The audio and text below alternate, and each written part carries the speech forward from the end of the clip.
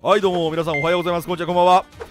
城之内克也です。さあ本日なんですが流星竜メテオブラックドラゴンっていう超絶かっけえモンスターがね実装されましたんで使っていきましょう。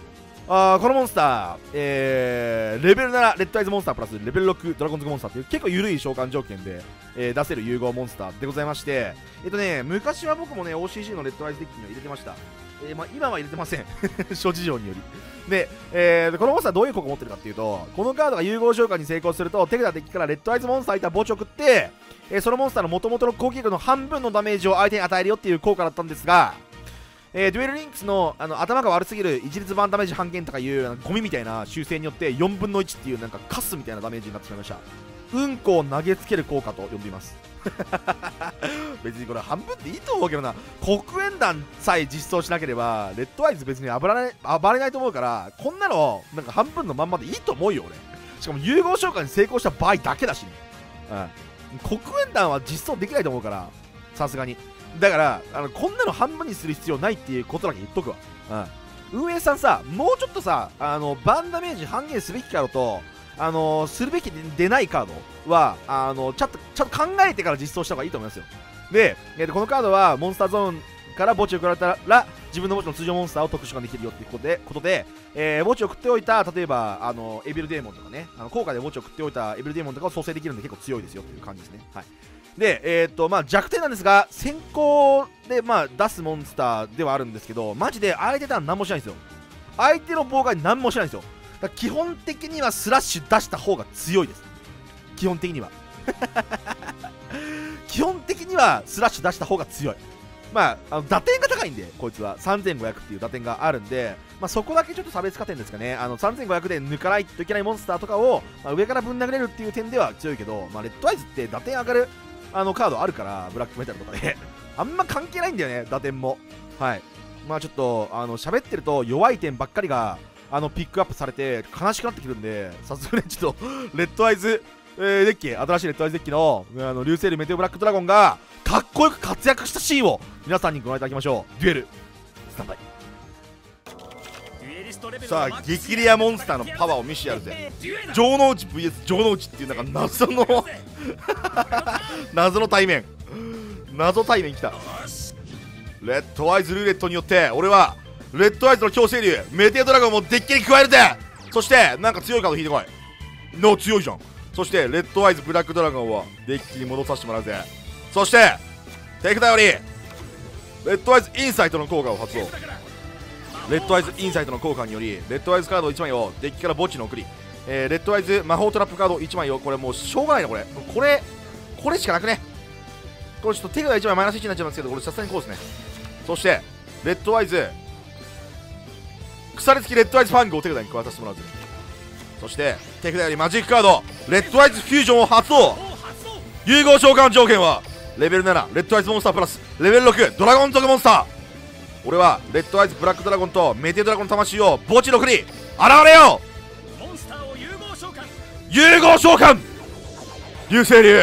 メテオブラックドラゴン。うおーかっこいい 先行で出すモンスターじゃねえ。流星流メテオブラックドラゴンの効果発動。レッドアイズカードを1枚墓地の送りその攻撃の半え4分の1のダメージを与え620 625キモ俺やっぱコナミ嫌いだわ。このなんかあの一律バーンダメージ半減とかいうカスみたいなあの修正によって。流星流メテオブラックドラゴンさんマジやばくなってるんですよね。レッドアイズルーレット。はい。あおおレッドアイズミラー来たよ。デュエモンの召喚なるほど。レッドアイズ融合を手札に加えていいだろう。レッドアイズブラックドラゴンをえっとデッキに戻していく。なかなか強そうな動きじゃないが。こいつ融合していくか。ただ4100をレッドアイズで超えるのは結構きついはずだぜ。結構きついはずだ4100をこ超えるのは結構きついはずだ。ただちょっとスラッシュが出てきたら考えるわちょっと。あのブラえー、っとなんだっけあのブラックメタルとか装備されるとちょっとアドバンテージが稼がれちゃうんで。ちょっとねスラッシュ出てきた場合は攻撃力が下がるけど、えっと、パクるのも視野。はい。モンスターを融合召喚。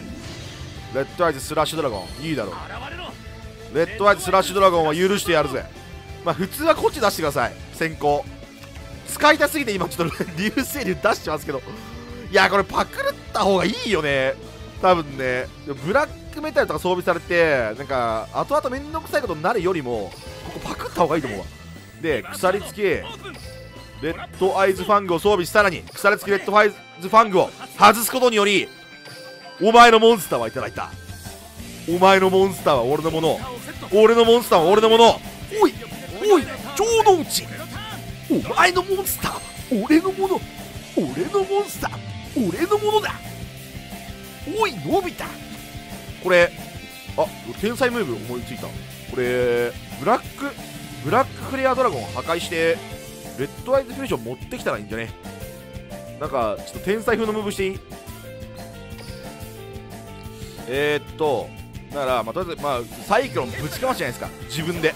で自分のカード叩き合っておい。でブラックメタルドラゴンの効果を発動。えー、デッキから手札に加わるのはもちろんこれはレッドアイズフュージョンを直で持ってきた方がいいな。そしてレッドアイズフュージョンをそのまま発動レッドアイズフュージョンの効果により俺はレッドアイズブラックドラゴンとレッドアイズあーとあじゃあ戦士とかのあこれ AD チェンジャーで叩き起こしたら勝ちなんじゃね？AD チェンジャーで叩き起こしたら勝ちなんじゃね？おっと。これ来たか？レッドアイズスラッシュドラゴンを融合召喚。そして AD チェンジャーの効果発動。何寝てんだ？起きろ！何寝てんだ？起きろ！バトル。俺はレッドアイズスラッシュドラゴンで攻撃。行け流星流。流星メガフレア。うん。最強ですね。1個言っていいですか？流星流先行で出すのあんま強くないと思います。スラッシュ出しましょうおとなしく。さあお相手の方。か行くぜ海馬。デュエリストレベルをマックスに上げて戦ってやるぜ。これはフュージョン一発打ってからの方がいいのかな？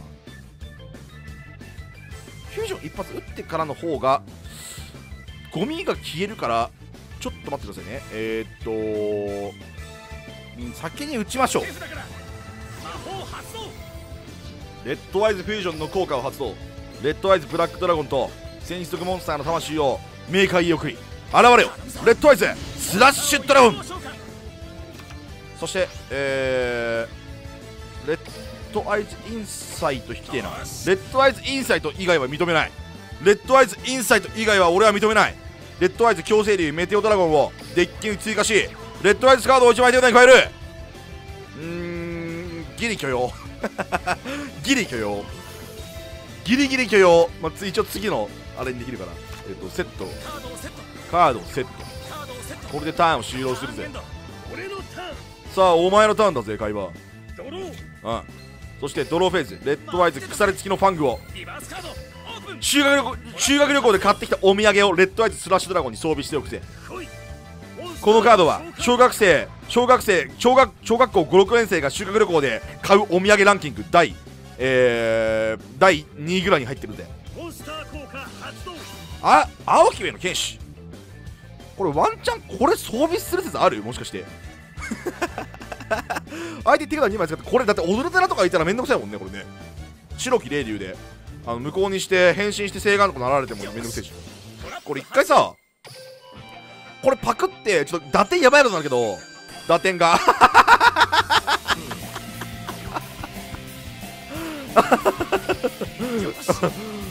そしてサイクロンの効果を発動しお前のバックを破壊させてもらうぜ。よしよしよしよしよしよし。ドロー。レッドアイズインサイツなるほど。なるほど。つまりこれはレッドアイズインサイト打てという神からのお告げ。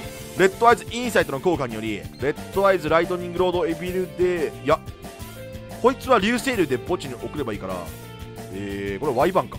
ワイバーンを墓地のフリーこれは修学旅行のお土産でいいですからまた。これお土産連打しときゃ相手めっちゃ困るでしょ多分。そして俺は手札よりマジックカード。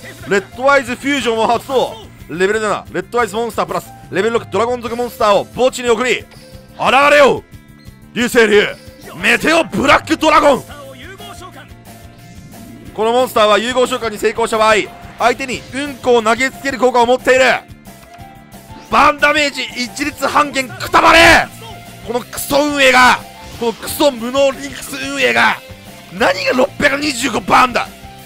あこれ本来だったら1250入ってますバトル。いけ流星流。流星。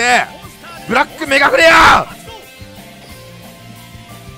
ちょほんまにさなんか一律バーンダメージっていうの頭悪すぎるからもうやめない？なんかあのちょリンクス運営にあの次ぐ。真面目に考えろ。調整を。環境調整とリミットも。真面目に考えろ。やば。マリック。城之内死んでしまうぞ。マリックは城之内死んでしまうじゃないかやばいぞ。俺はレッドアイズインサイトの効果を発動するぜ。レッドアイズインサイトの効果によってレッドアイズライトニングロードを墓地に送りレッドアイズフュージョンを持って札に加えていくぜ。一旦ゴミを掃除してからレッドアイズカードを持ってきてであの手札強くするっていうことを覚えました私は。レッドアイズ。ブラックドラゴンと戦士族モンスターの魂を墓地に送ることにより現れよ。レッドアイズアッシュドラゴン。そしてレッドアイズルーレット。レッドアイズルーレット。俺は意味不明なモンスターをデッキに加えそしてレッドアイズカードを1枚手札に加える。おお割といいじゃん。割といいよ。そしてえー、っとブラックメタルをレッドアイズスラッシュドラゴンに装備さらにトラップカードを1枚セットターンを終了するぜ。割と強いですね。やっぱこのレッドアイズルーレットっていう最強スキルのおかげでだいぶ安定感増してるんでレッドアイズデッキ。結構強くなってると思いますよ。まあ流星で強くなってるかって言われると微妙ですけどね。打点が高いっていうだけなんでバルハラ何？なんだラーの人も出すのか？ラーの人か？ラーの人ほん出てきそう。マジで。これ何デッキこれ？バルハラ。うんセプター。おいお前それはお前あれやぞ。あのなんだっけ歌教員乗り上げのカードじゃないか。歌教員乗り上げバックスのカードじゃないか。やめろやめろやめろ。ちょっと待ってやばいやばいやばいちょっと待って。やばいやばいやばいちょっとふざけてる場合じゃない。ちょやばいやばいやばいやばいちょっと最強の椅子できた。遊戯王界最強の椅子。ホーリーライトスローね。やばいやばいやばいやばい。死ぬ死ぬ死ぬ。これ死ぬ？これ死ぬ？えでも対象取る方が無効だよ。でもこれデルタテロスとかいう最強モンスター出されたら終わるんだけど俺。なんかチェーンできずに死んでいく。あまあ一応ブラックメタルは復活するか。ボルターガイスト。ちょやめてやめてやめて。これ無効化されてないんだっけ？面倒クソめんどいやん。まあでも一応これ無効にしようとして墓地送った方がいいのか。の方がアドバンテージ稼げるよな。ブラックメタルドラゴンのちょっとょ戻されるんだったら使うわ。戻されるんだったら使うわ。えこれ死んだ？これ俺もしかして。えー、ブラックメタルの効果を発動するぜ。ブラックメタルの効果により。えー、っとこれは何でもいいけどお土産かなんか持ってきたらいいですかこれ。お土産持ってきてお土産持ってきてでえー、っとその処理後あやべ。これデルテロ出されたら終わるな。え？え？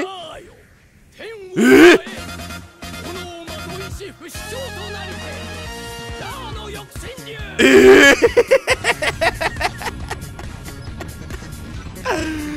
え？ええおジョーロッチやばいぞ。お前死ぬぞ。